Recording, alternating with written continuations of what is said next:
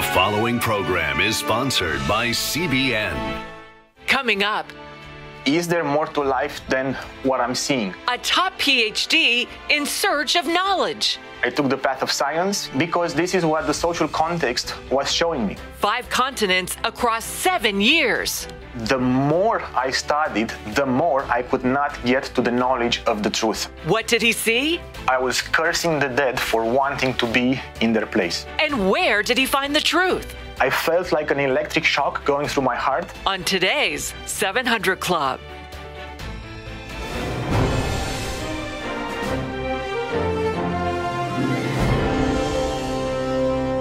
Welcome, folks, to this edition of the 700 Club. This is the day the Lord hath made, and we will rejoice and be glad in it. So I hope you find this a happy program and good stuff for you. But I want to say the pressure on the president and Congress to act quickly on police reform is more intense than ever. The killing of a black man by Atlanta police sparked new protests and more violence over the weekend. What police reforms are on the table to bring peace? And what's the poison pill that could stop them? Gary Lane has that. The death of Rayshard Brooks has been ruled a homicide. The police shooting was captured in dramatic video outside the Wendy's restaurant, where Brooks had failed several sobriety tests and then tried to run from police. He resisted arrest and fled after seizing a police taser. An officer shot and killed him as he fled, pointing the taser in their direction. Brooks' wife says he wasn't dangerous. I didn't know that I was going to wake up to my husband never coming home. Protesters set fire to the Wendy's. Atlanta Police Chief Erica Shields resigned in the wake of the shooting. Police officer Garrett Rolfe was fired, and another officer was suspended. The Atlanta shooting gives a renewed sense of urgency to police reform legislation. Both Congress and the president are expected to act this week. Democrats are pushing to end qualified immunity, which shields officers like Rolfe from civil lawsuits. We have to ask ourselves as a society do we want to have a nation where police officers who do really awful things cannot be held accountable Uh, uh, uh, through, to civil rights charges? But the president and other Republicans say qualified immunity is off the table. Senator Tim Scott calling it a poison pill that will kill police reform legislation. That sends a wrong signal, perhaps the worst signal right now in America. Scott has been working on police reform for five years. Republicans have tasked him with drafting a proposal in the Senate. Key points are improved officer training and greater transparency when wrongdoing occurs. Also, Scott and others support banning chokeholds. That is one of the things that we should have engaged in a long time ago. Many departments around the country have already banned uh, chokeholds, and I think a lot of other departments are increasing that now. President Trump expected to sign an executive order this week setting a national standard for police.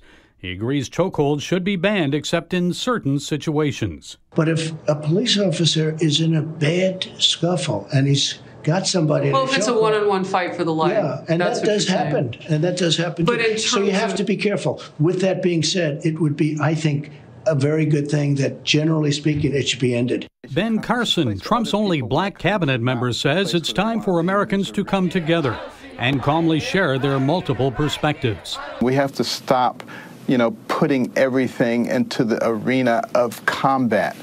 And let's see if, if we can find a way to work together because if we don't, we're doomed. And some rays of hope, healing, and grace. Amazing grace. Shared over the weekend in Nashville. These Christians took to song outside a nightclub recently looted by rioters.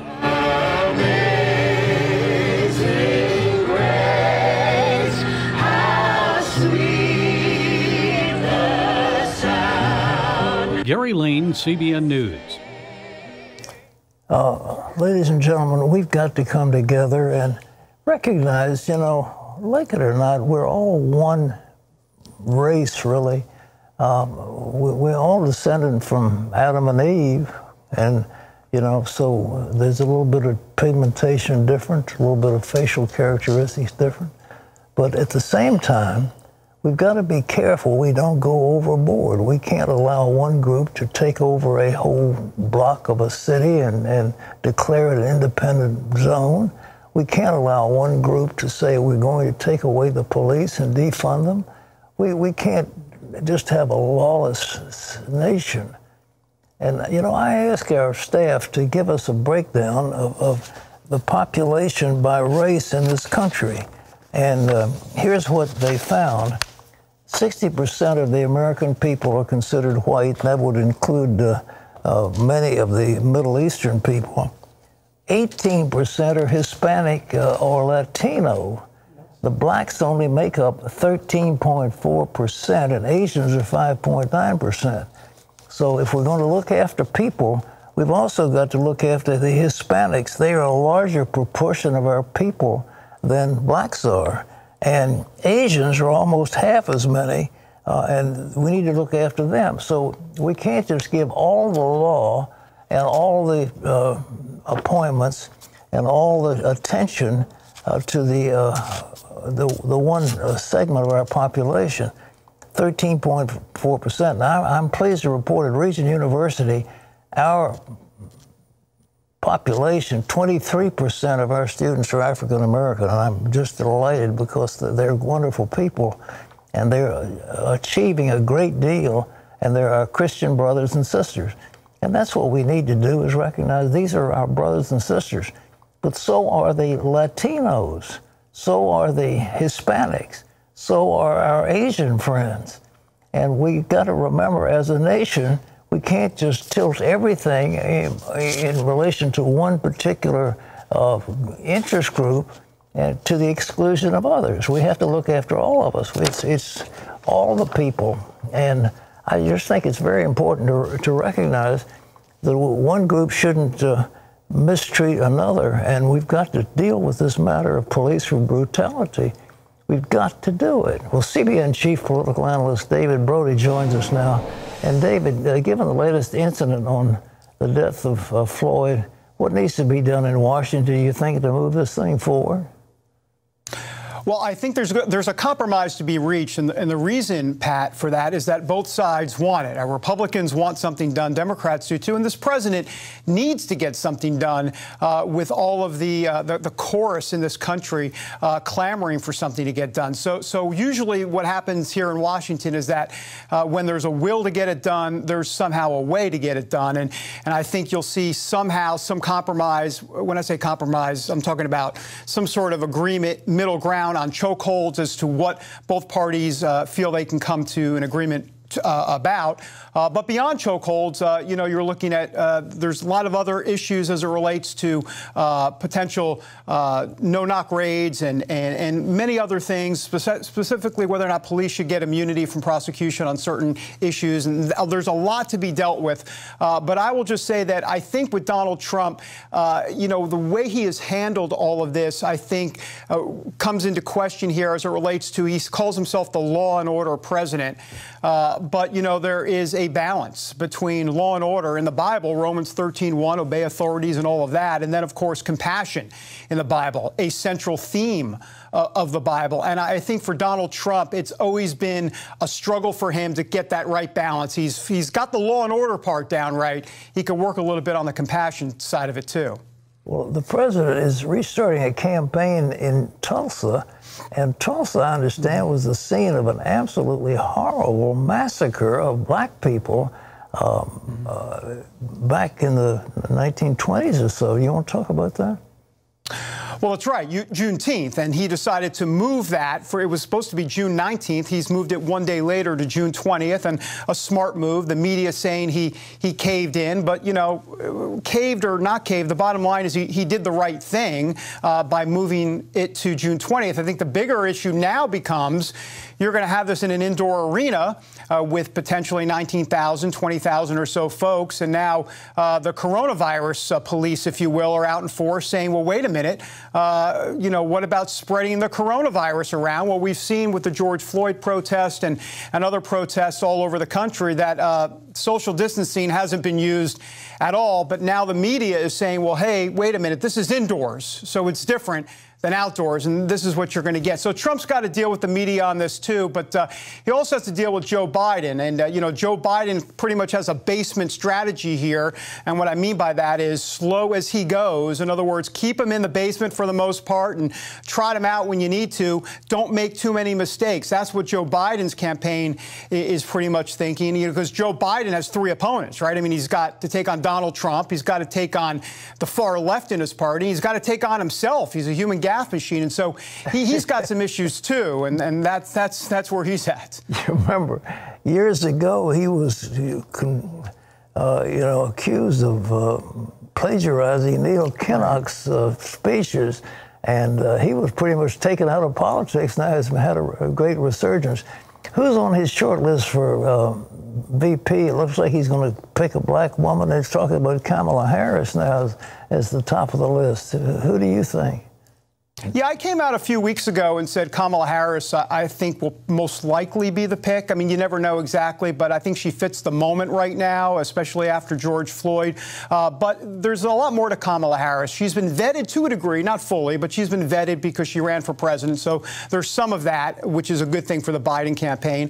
Uh, in, in, addition, she is a former attorney general, so she has somewhat of a, a law and order card to play if, if he needs to. Uh, and she is obviously an African American woman, which will help on the far left side uh, of that problem that we just talked about for Biden. Uh, some others, uh, potentially Susan Rice, the former national security advisor. You've got Val Demings. You've got Keisha Lance Bottoms down in Atlanta, the mayor there who had that rousing speech after the riots in Atlanta a few weeks ago. So there are some possibilities, but I, I, think it's probably Kamala Harris. Susan Rice is, as a potential as well, but um, we'll, see. I can tell you this, Pat, uh, from uh, from Biden's perspective, he would be smart to take a page from the Obama playbook. You know, in 2008.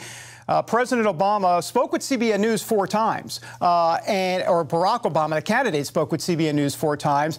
He ended up winning 26 percent of the white evangelical vote in 2008. In 2012, he got 21 percent of that vote. Hillary Clinton only got 16 percent of the white evangelical vote. In other words, the Trump base. And why? Well, she decided not to talk about her faith and not play to the audience. Look. The truth of the matter is, we know, Pat, and you know, elections are won at the margins. And if Joe Biden can pick off a percentage or two of white evangelicals that are frustrated with Trump and want and he wants to appeal to their better angels and more compassion, it's there for the taking, but he has to engage. And I think that's something we'll watch here at CBN. Well, David, thank you so much for that analysis, and we will look eagerly at it.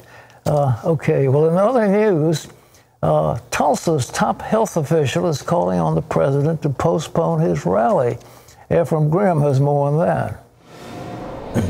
Thank Pat, you. Pat, the city's health department director warns this week's rally is risky and could cause a surge in COVID 19 cases. But Oklahoma Senator Republican James Lankford says it will be safe and he intends to go. The Trump administration is asking attendees to sign a waiver promising not to sue if they do get the virus. About 19,000 are expected to attend. This comes as 22 states are seeing an increase in new coronavirus cases. Arizona and Texas set new records for hospitalizations. And two states, Utah and Oregon, are now slowing their reopening process. Israel is moving ahead with a new Jewish community in the Golan Heights named after President Donald Trump. It will be called Ramat Trump, which is Hebrew for Trump Heights, and it will be home to 300 families. Israel recaptured the Golan Heights from Syria in the 1967 Six Day War. Most of the international community considers it to be occupied by Israel, but the Trump administration said in March of last year the U.S. recognized it as under Israeli sovereignty. Israeli Prime Minister Benjamin Netanyahu confirmed the move Sunday, the president's 74th birthday. Pat? Well, it's a nice birthday president, uh, president, I should say. Um, you know, let's face it, the two-state solution is not going to work as long as there's one factor that denies the legitimacy of the other one and so the, the other one should be eliminated, and that's the position of the Palestinian Authority. So uh, uh, that's part of Eretz Israel, the land of Israel, and the West Bank. If you, it's Judea and Samaria, it's one of the, home, the homelands of Israel, and they're going to, but the Golan Heights particularly, I mean, that, that's that shouldn't be even under discussion yeah. as anybody else. I mean, the, the, the, Israelis fought one of the great tank battles in the history of warfare mm-hmm. to take the Golan, and they certainly shouldn't give it back. Terry? Well, coming up, is police brutality actually protected under law? Hear about the little known doctrine that has shielded policemen from persecution or prosecution and see why police officers themselves want it overturned. And then later, the greatest power in the world. One scientist looked high and low for it. What did he discover? You'll see later on today's show.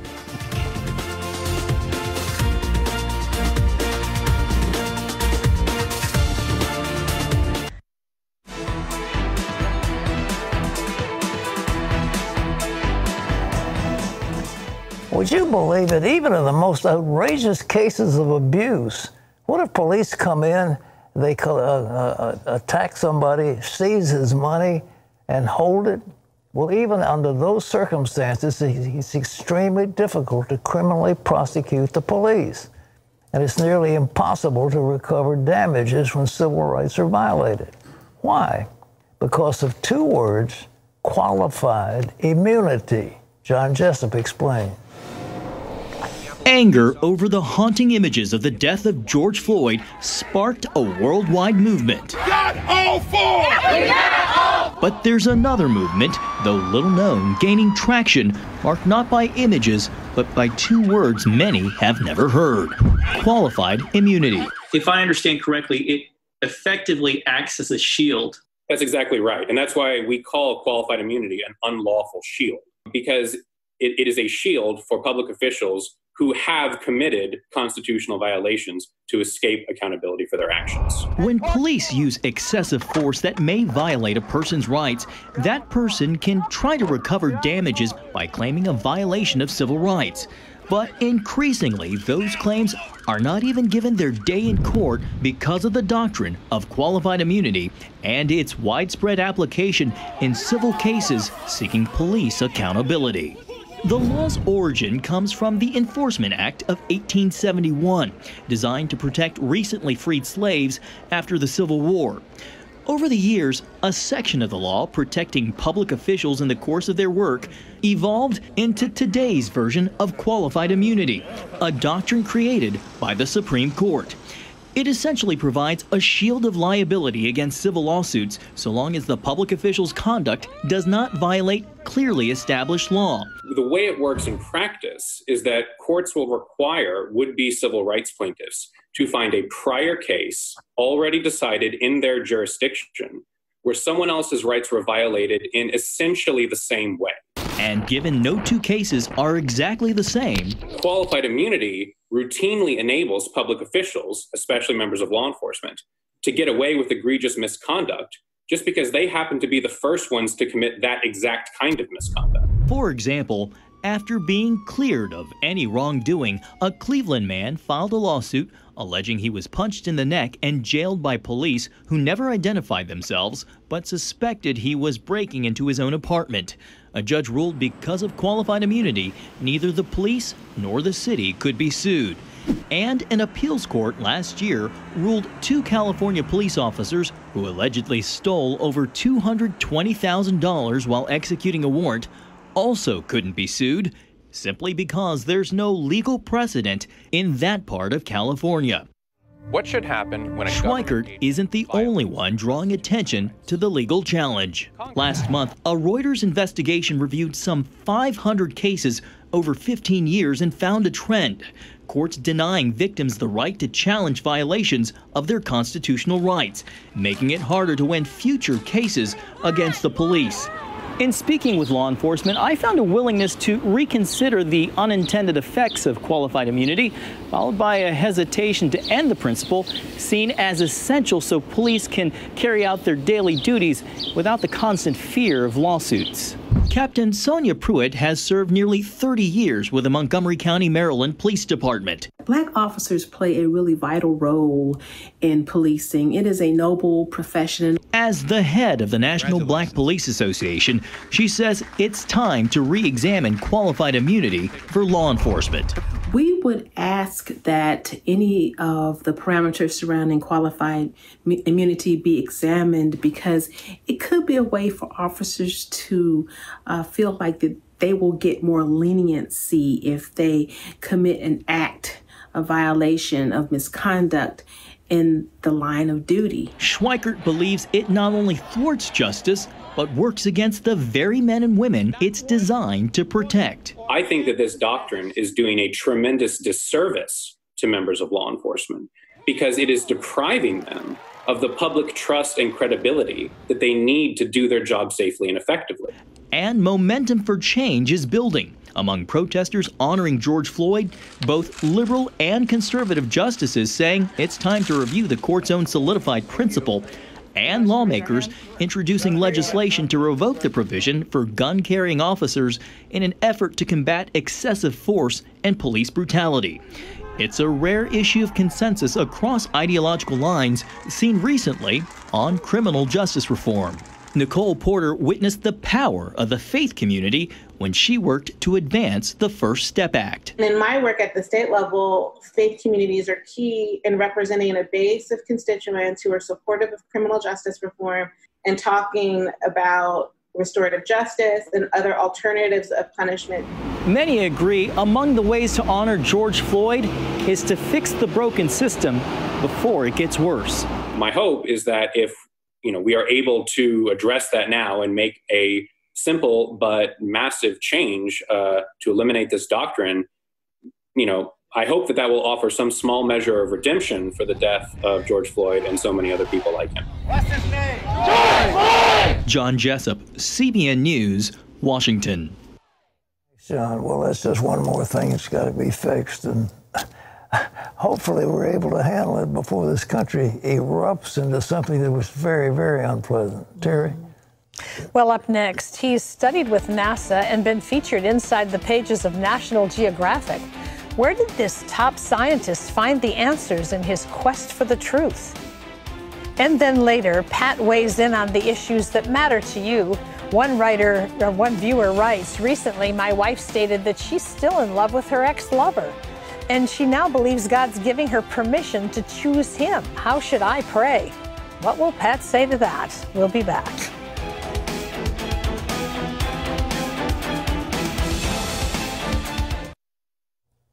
Now more than ever, the world needs the truth of Jesus, and today you can be one of the first to get Jesus of Nazareth, the first episode in CBN Film's newest documentary series, Written in Stone. The film uncovers the historical proof and archaeological evidence that affirms the truth. Jesus is exactly who the Bible says he is. Get your exclusive copy of the DVD today with instant streaming access on the CBN Family app. It's yours for a gift of any dollar amount. Visit cbn.com slash written in stone or call 1-800-700-7000. And you can also text STONE to 51555. But you want to get a hold of your copy. It's the beginning of an amazing series, and you're going to love this. They really will. It's fascinating. You want your copy. Well, from tropical paradises to frozen wastelands, the top scientist named Dragos traveled across five continents.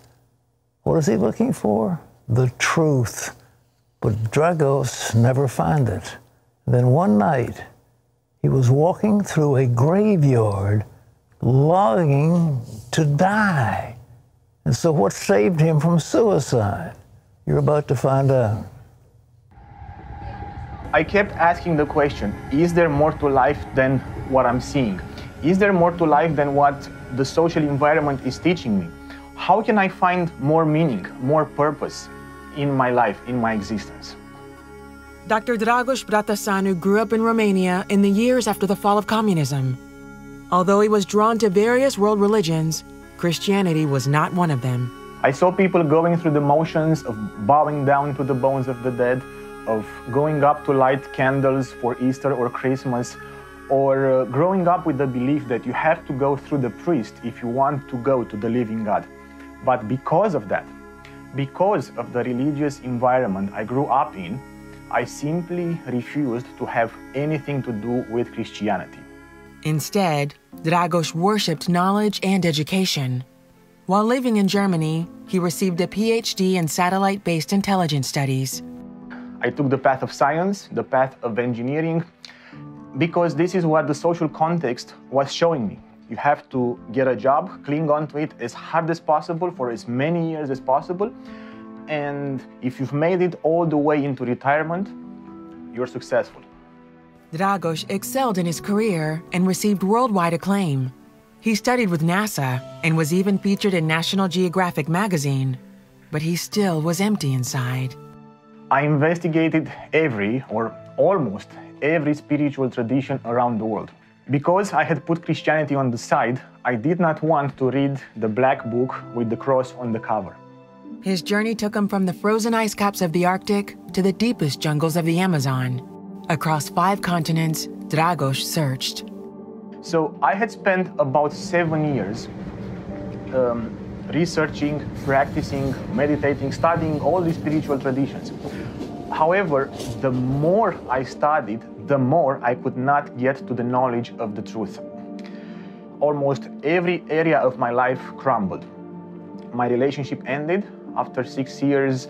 Uh, my startup company didn't work as I was hoping it would work. And it ended up with me in my parents' apartment in depression and such wretched pain. His despair even brought him to the brink of suicide. It got so bad that I was walking past graveyards as I was coming back from work and I was cursing the dead for wanting to be in their place. One evening at his parents' apartment, Dragos decided to pray. The pain was so intense, I just took my pillow and I cried out to God from the bottom of my heart, from the bottom of my being. I said, God, if you're real, I need you. You have to come to me because I just cannot do this anymore. Shortly after, he called a friend in Hawaii. I flew to Hawaii, and this friend of mine, who wasn't even a Christian, he doesn't believe in the Bible, he said to me, if you, if you have the chance to read something by Kathryn Kuhlman, uh, just find the book and read, maybe it will help. I go online. The first book that showed up was called The Greatest Power in the World. I flipped through the, through the pages of this book, and as I read the last row of the foreword that said, If you have not made that full surrender to Jesus Christ, do it now. When my eyes finished reading the sentence, the sentence, I, I felt like an electric shock going through my heart, or as if I was struck by lightning. My knees buckled, I dropped the book in the sink, and I almost went down on the floor. When I got up, a second later, I was instantly healed of all guilt, shame, depression. And not only that, but in that moment, I knew that I knew that I knew that Jesus Christ is the truth. I had no mental understanding whatsoever about what this means, but I knew beyond any doubt that Jesus Christ is the truth. Dragos then received water baptism. For four months, then, I repented of everything I had ever done. And the more I was repenting, the more I was opening up to the Heavenly Father, the more love He poured into me. Today, Dragos wants to show the world through his writing and speaking that science and faith need not be incompatible. The scientific communities have spent more than 40 years looking into near death experiences.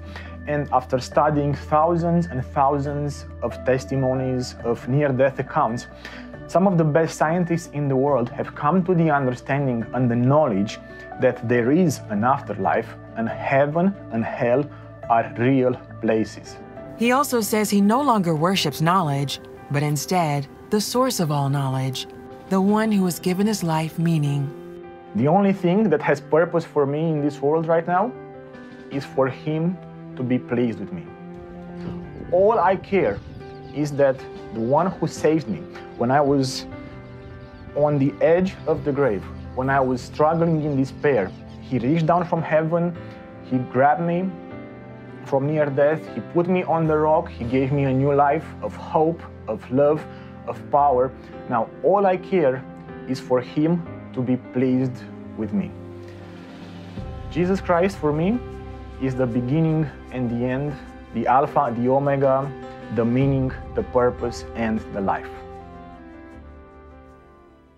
What a testimony of somebody who searched and searched. You know, the Bible says that uh, you don't have to ascend up into heaven and you have to go down to hell, but the word is nigh you. The word is, the God is on your lips and on your heart. And Dragos found it. He, he found it when he finally began to say, My life doesn't have any meaning.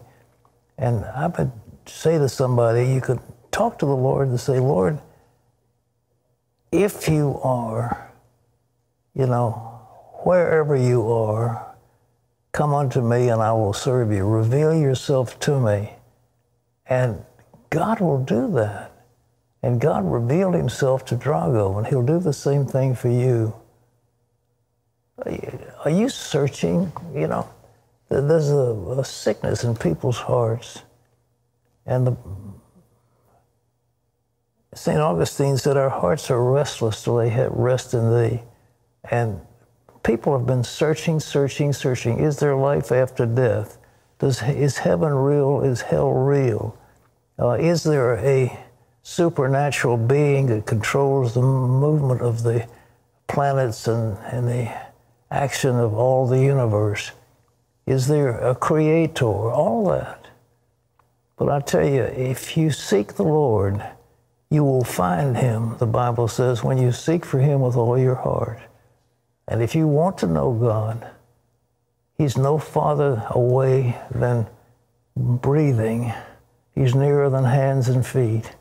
And all he says to you is, Come unto me, all you who labor and are heavy laden, and I will give you rest.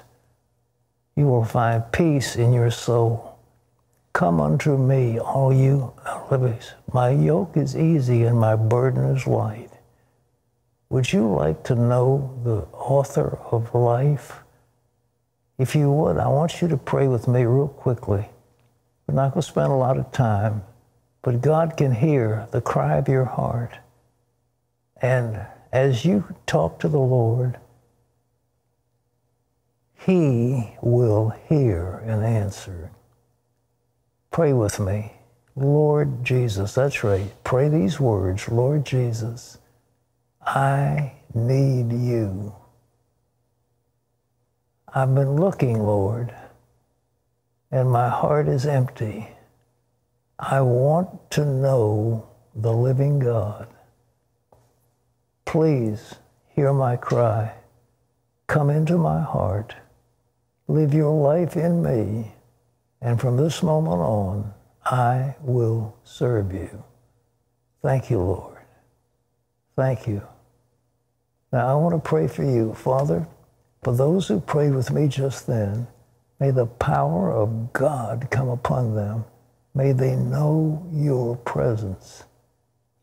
In Jesus' name, amen. Now, if you prayed with me, the Bible says if you confess with your mouth the Lord Jesus and believe Him in your heart that God has raised you from the dead, you'll be saved.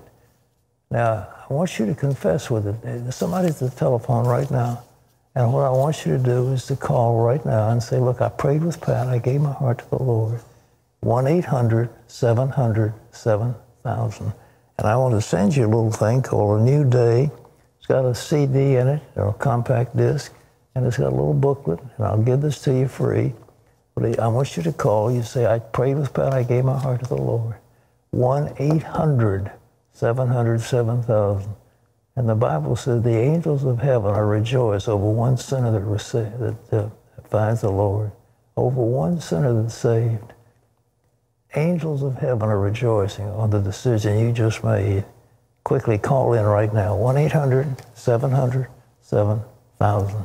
Terry? Well, still ahead, no stopping her now.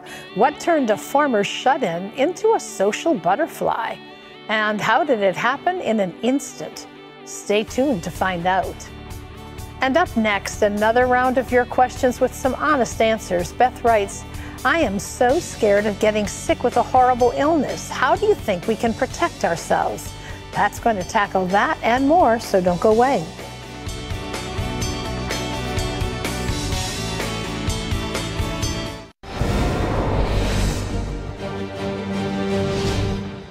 And welcome back to the 700 Club for this CBN News Break. The Department of Health and Human Services overturned an Obamacare rule that included transgender individuals under sex discrimination. The new rule applies sex discrimination protections based on whether they are biologically male or female, not on how they define their own sexuality. LGBTQ groups say explicit protections are needed for people seeking sex reassignment treatment and transgender people. Conservatives say the Obama administration exceeded its legal authority in broadly interpreting gender. CBN is gathering with its international directors from across the world to pray during the COVID 19 crisis. Host Jessica Datsko went live on Instagram for a Life Changers series called Pandemic Prayers. These programs feature directors from Africa, Europe, Asia, Canada, Latin America, and other guests. Life Changers is a weekly television program that introduces viewers to people from around the world who, are dedic- who have dedicated their lives to serving others and to spreading the message of God's love. You can learn more about what CBN is doing around the world by going to cbn.com slash international. Pat and Terry are back with more of today's 700 Club coming up right after this.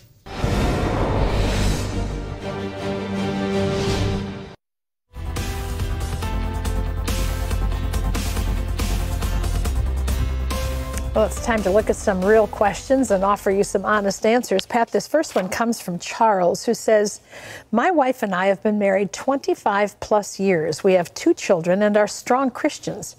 Recently, my wife stated that she is still in love with an ex lover. She had relationships with him before we were married and a fling halfway through our marriage. She said she's been praying for years for God to break the soul tie, but he hasn't. She now believes God is speaking to her and giving her permission to choose Him. I'm looking for your guidance on how I should pray. well, I, I think uh, what you have got there is uh, clearly a breaking of your marriage ties. And this idea that he's a soulmate and all this kind of stuff is just baloney. She has made a vow to you She's supposed to be your, your wife. You're supposed to be her husband. You're supposed to love, honor, and protect until death do you part, and all the rest of it. She's breaking those vows, and she's committing adultery, and uh, she wants, I don't know, what, she, how, do, how do you pray? Well, I think you're asking for my advice, and uh, the prayer would be rather easy, but uh, it seems like to me what you ought to do is to say, Dear, I, I, sever the bonds that are holding you and I release you uh, for your own folly. And you, you, you're off on your own and get on with your life. That's what I would tell you to do. All right. Wow. Now, this is Pam who says, Hi, Pat. I watch your show almost every day, and I am a CBN partner. I understand that God wants me to only worship Him, read His Word, tithe, follow the Ten Commandments, and love each other deeply. I hear people judging each other every day. People are on the right, people are on the left. Do we need to get back to Bible basics, or am I missing something? Didn't God say in Matthew 5 that the meek will inherit the earth? Well, um, I don't know how that meek inherit the earth. Meek means you're under control, and, and those that are under control will inherit the earth. But uh, uh, if you do not forgive others, your heavenly Father will not forgive you. That's what the Bible says. And if you want to be forgiven, you have to be uh, able to forgive others. And people are holding grudges, and there is animosity and hatred and bitterness and the Bible says a house divided against itself can't stand. And I say it over and over and over again. It's a simple truth. But a kingdom divided against itself can't stand. A family can't stand if it's divided. And we have to have unity as a people. And that unity is being torn apart. And there has to be a sense of forgiveness. So I, I don't know what, what you're asking me, except uh, we cannot have bitterness in the church and expect God to bless us, all right? This is Beth who says, Hi, Pat. My doctor made a comment to me saying, quote, it's not if you will get cancer, it's when. I'm so scared of getting sick with a horrible illness like that. I'm trying to live healthy. How do you think we can protect ourselves? Well, the idea of a doctor saying that is Yeah. not a question of that's nonsense. That guy will have his license taken away from him. You're not necessarily going to get cancer. But if you do, how do you protect yourself? Well, we've talked so much about uh, immunity and the gut health, but I do believe that probiotics and prebiotics, we have a little booklet that we've been, it was very popular, called How to Build a Better Gut. And about, uh, well, probably 80% or more of your immune system is located in your gut, where you have these friendly little bacteria that'll keep you healthy, and, and it's like a second brain. So I'll give you this free if you want it. And uh, but uh, I don't know. You know, I'm a cancer survivor, but uh, I, I, when I found out I had it, I had it cut out. My wife is a, and she's had breast cancer, and she had it removed, and and she's still 30 years afterwards. So I know many people as well who have well survived cancer. absolutely. I mean, it's not a death sentence. Okay. Okay, this is Patrick who says, Dear Pat, I love CBN, have been a partner for years, and learned tithing from you. I have a serious amount of credit card debt to pay off. If I tithe first on my income, it's going to take me about five years to pay that off because the interest keeps adding on. Would it be okay to tithe less first, pay off the debt faster, and then give more later on instead of constantly having to live under the burden of debt? Well, it's between you and the Lord, but I tell you, God is able to do exceeding abundantly above all that you ask or think. And I believe that if you put yourself in a, in a position of blessing as you give unto the Lord, when you, you give unto the Lord, you, you put with it a prayer that God, I'm, I'm entrusting this into your hands and I speak blessings over this amount of money.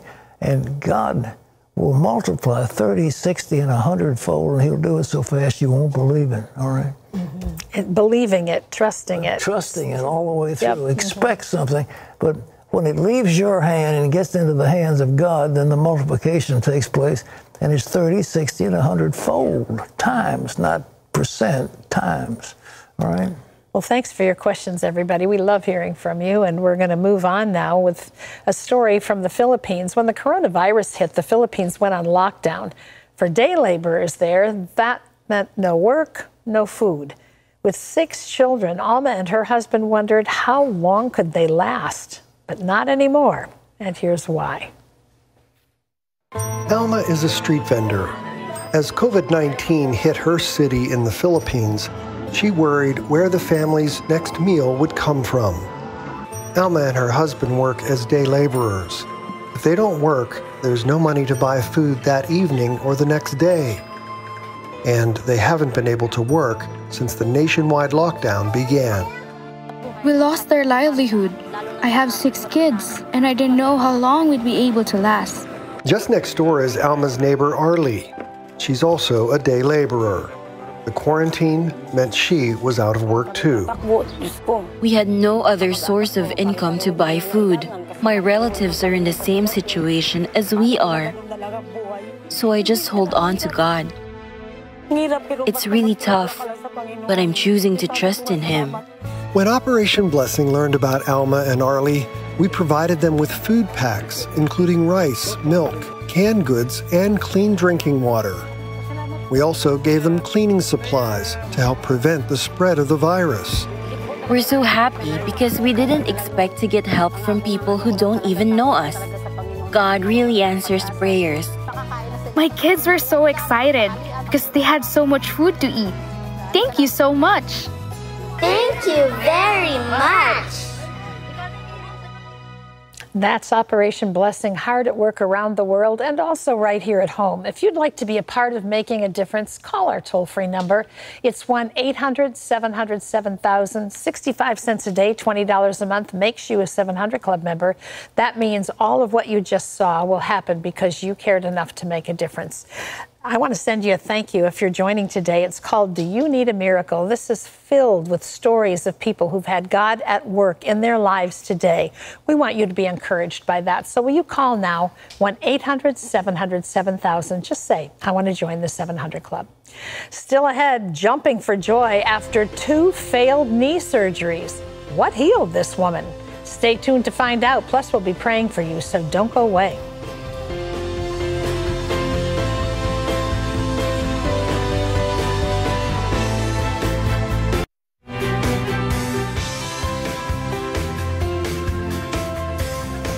Benzetta was a prisoner in her own home, and that was before the quarantine.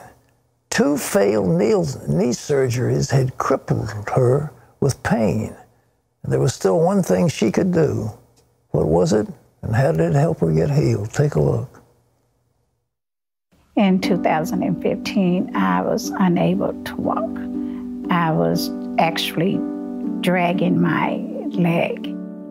I couldn't bend my leg. I could only just extend my leg straight out. I was unable to sit. I sought a doctor. And when I did, I went and had the surgery, a total knee replacement. And because I had waited so long to have the surgery, they had to do some extensive knee replacement. After my first knee surgery, the pain returned. Then I had to have another revision surgery. About 15 days later, the pain was, it was bad. I, I didn't understand it. It made me feel depressed. I felt hopeless because I was a very active person. I was very lively. I loved to go. I traveled. I did a lot of things. And now I couldn't, I was captive in my own house. All I did was watch TV. That's when I started watching the 700 Club. It gave me hope. On June the 21st, 2019, I was watching the 700 Club. And about 10 minutes before the show ends, Gordon, he was getting ready to pray. And by his stripes, you are healed. So Wendy and I are going to agree with you. All you need to do is touch. And I had already been praying. And I told God, that if you're the same God that the woman with the issue of blood said, if I could just touch the hem of your garment, then I want you to prove to me that you can do the same for me. Gordon said to lay your hands on your knees. Someone else, you have tendons out of place in your left knee and God is putting them back into place, taking all that swelling, all that pain, all that discomfort away from you right now. In Jesus' name, be healed, be made whole. And I just started jumping and I just started praising God. And I said, That's me, that's me, that's me. The pain was gone instant. And I was just, I was astonished. I can move my leg. You my leg's not popping or nothing. I'm telling you, I know that He did it for me. A old rich like me, that undeserving. That's what I'm talking about. When you know you're undeserving, you better serve God, the God that I serve. I'm ready to go now. My home is not a prison anymore. I love being a greeter at my church, being able to be physically able to stand and welcome people into the house of God and showing them that God loves them. I love going out to eat and shopping with my best friend. And I'm all, you have to go in and out of the stores. And I used to dread that because it was so much walking. And now I look forward to that because I'm not in any pain. God still performs miracles. My Lord and Savior Jesus Christ is a healer. I know that to be true today. I know it. What a marvelous testimony. Here's one that came in. Tony, who lived in Laurel, Maryland, learned to live with constant excessive stomach acid. While watching this program, Terry said, Someone with extreme stomach acid, God's healing you. And Tony said, That's for me. He took it, ran with it. Tony Joyce reports since then he's had no further awesome. Pat, this is Joyce. She had night sweats and fever due to a virus, and she prayed on the club a week ago. Before that day, she'd been bothered every day, hadn't gone to see a doctor yet, but today she said, I just realized it's been over a week since I've had night sweats or a fever. Glory to God, I'm receiving my healing. Well, we want to pray for you right now. We were running out of time. We've got about a minute and a half. So pray with us at this point. Father, in Jesus' name, we ask for the anointing of the Holy Spirit. Thank you, Lord. A woman, I believe, named Margarita, you've got um, you've got uh, lumps in your in your uh, left breast, and it's it's kind of like it's open cancer or something. God just healed you. Just touch it in the name of Jesus. Is completely whole. Terry? Yes, someone you've been diagnosed with a muscle disease that has just left you feeling so weak, like you can you can hardly do anything. God's healing that for you right now. You're going to have your health completely restored to you in Jesus' name. Be made whole. There's a right hip. The hip, hip has been, uh, uh, you know, the bone is uh, deteriorating, and you're in great pain. Uh, you've had to walk with a walker, and, and right now, if, if you just touch that hip in the name of Jesus, touch. Yes. Praise the Lord. Else. You have yes. uh, sores throughout your mouth, but especially on your tongue. So Thank painful, you. you. can hardly eat anything. God's healing that condition for you. It's going to just go away in Jesus' Praise name. God. Amen. Let us hear from you. That's all the time we've got, but thank you so much. We'd love to hear from you. Pick up the phone, call in, give us the testimony. We'd love to share it. Well, our power minute comes from 2 Peter. May God give you more and more grace and peace as you grow in your knowledge of God and Jesus our Lord. From Terry and all of us, this is Pat Robertson, and we will see you tomorrow. Bye bye.